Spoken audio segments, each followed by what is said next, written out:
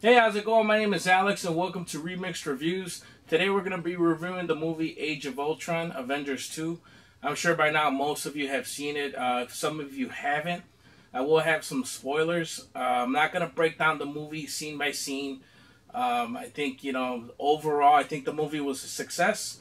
I wouldn't recommend anyone not to see it. I think you should go check it out. Um, as far as I'm concerned, only because you know I'm not a, a, a diehard movie critic. I kind of take things a lot lightly um, when it comes to uh, adaptations, especially with comic books. Uh, so overall, I was happy with uh, Age of Ultron. It missed from for me. It missed a little bit of that I don't know charm that the first one had. Um, Josh Whedon is very good at storytelling, building up characters, directing them well. I think here they just uh, they they fed you with a lot of information, which was good. It was just sometimes going a little too fast. Um, action wise, awesome. They start off the movie right away. Most of the trailers that you see take place within like the first two to three minutes, which is pretty cool.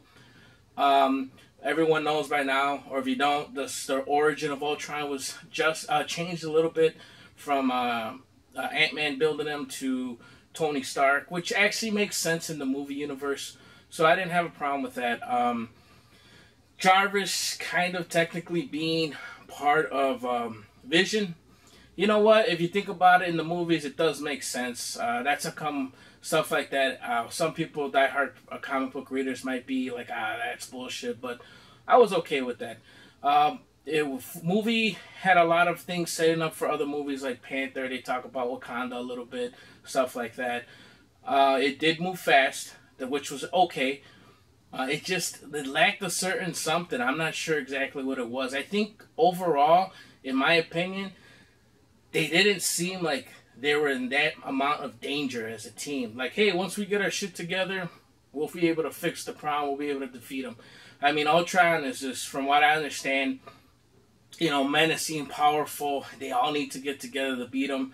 And it just seemed like, you know, he was badass. Uh, David Spader, I believe his name is, from the Blacklist. I think his voice, his style of uh, talking fit Ultron very well. I just felt he wasn't dominant enough, menacing enough, where um, against the Avengers themselves individually, like, you know, it didn't seem like they were like, fuck, we can't beat them. There's no way out. I think adding a little more of that sense, I mean, they did do it, but not at the sense where, like, shit, this guy's badass and they're not going to be able to beat him at all. If they had that little element, I think I would have liked it a little better. But like overall, it didn't miss the mark uh, totally on anything, unlike a lot of DC movies do with uh, from either what the hell they're wearing or what type of character they should have been, or trying to relate it to new uh, modern day times or the way we think. Uh, that's the biggest problem with comic book movies. Um, you stay true to the character, you could still fit them into modern time.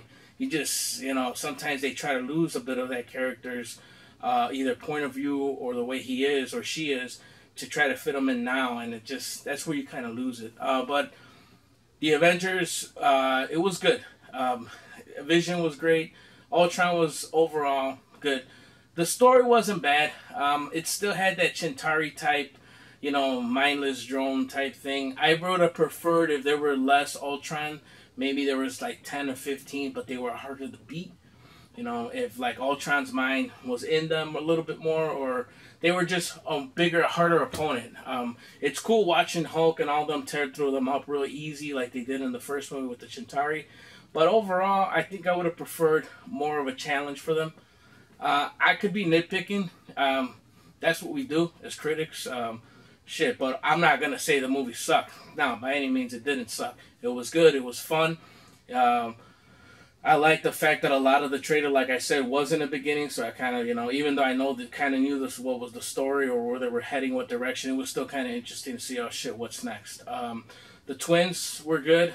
Um, Scarlet Witch in particular, I liked her character. Uh, she's actually hotter than the, her two sisters, the Olsen twins. So yeah, it was good though overall. Um, the whole Hulk and Black Widow calming them down, I I kind of back and forth with that. I don't like the fact that either either you can control the Hulk, like you kind of showed you could in the first one, or you can't. I don't like how they keep going back and forth. I understand how she could calm him down faster. I get it, but I I could have done without it, to be honest with you. Um, I don't know if they're to continue it. At the end of the movie, they show Hulk on a ship. Obviously, he could fucking fly the ship, and he knows that he's not going back to her. So he can't control it to a point. So I didn't understand what they were trying to do there. I think they were just trying to add a love scene or a twist just to show something different or something new. I don't know if that's their plan for future movies or they're going to have her wrap around back to Captain America and hook up with him like she normally does. But uh, other than that, you know, I liked it. Another thing that was um, kind of threw me off was the the helicarrier Nick Fury coming out of nowhere. Um, I don't watch Agents Marvel, uh, Marvel Shield, the show or whatever. Uh, they said there was a small tie-in there, but even people who watched that couldn't kind of tell me it was a direct tie-in. Like uh, I expected maybe some of those cast members to be on the carrier, they weren't. Um, I was kind of confused. Is fucking Shield up? Are they back? Are they not back? At the end, they show a private base where Captain America's back, and it says Marvel's Avengers base. So, are they not Shield? Like I shit like that. Like I'm not fucking a comic book expert, so I didn't kind of was like, well, what's going on?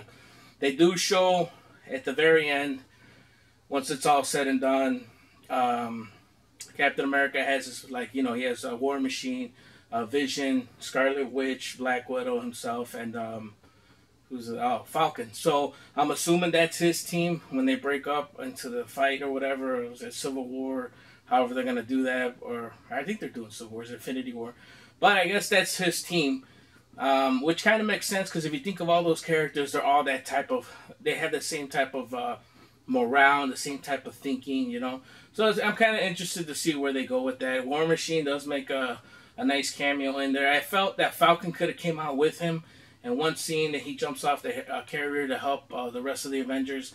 You know, I could have done Falcon in there. You know, have some brothers come out with Samuel walking the fucking uh, the top of the aircraft carrier, like you know, something cool. That shit would have been cool.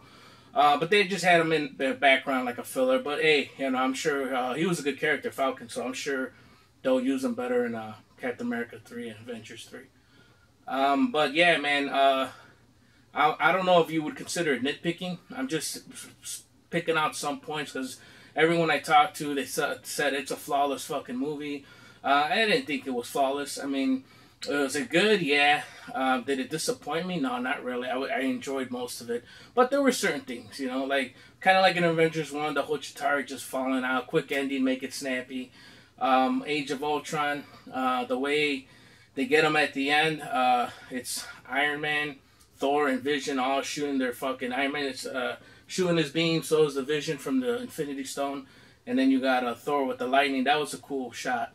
You know, they don't get the last one. Vision actually destroys the very last drone or, or a part of um, um, Ultron. But um, no, it was good. It, it didn't leave me like dumbfounded or I was like, what the fuck? So if you guys haven't seen the movie, I would definitely recommend it. Um, like I said, it, it's it's the Avengers, so with that many characters and with those many people who already kind of have a good layout, I knew it wasn't going to be horrible. Uh, there was just some things that could have been different, but you know, I don't know what direction they're going. And to be honest with you, you can't miss one of these movies because they're all connected to some way. So you know, they get a little leeway there. Um, I recommend it if you haven't seen it. I don't think anyone watching this fucking video is not gonna see it eventually. So that's my take on it. The movie was good. It had some flaws, but overall, I definitely recommend it. Um, like I said, I don't know who else not gonna watch it, but there might be a few guys out there waiting till later, or waiting till it gets out of the show or the theater, or watching it on bootleg. And you know what? If you guys do got it on bootleg, it doesn't do justice. That's something you definitely need to see on the big screen on IMAX. Uh, pay the money because it's just not worth watching it. Uh, you know, you got to see the colors. You got to see the great. Uh, I mean, visually, the movie is awesome. I mean, it's cool. And I haven't seen it on 3D, but after watching it, I I probably am gonna go catch it on the IMAX 3D because I think I think there's enough shots, aerial shots, and they do have a, a most of the ending seen as in the skies where I think trying to think about it, it probably does have a nice little extra oomph as far as uh, visuals go. Uh, so, you know, that's my review. I hope you guys liked it. Please leave your comments at the bottom uh, for any uh, future videos, all the interviews we did for C2E2. Please visit us at www.comicsremix.com and also on YouTube or on Instagram and Twitter. And we will see you next time. Peace. I cannot stay here too long before my machine friends will become nervous and do something rash.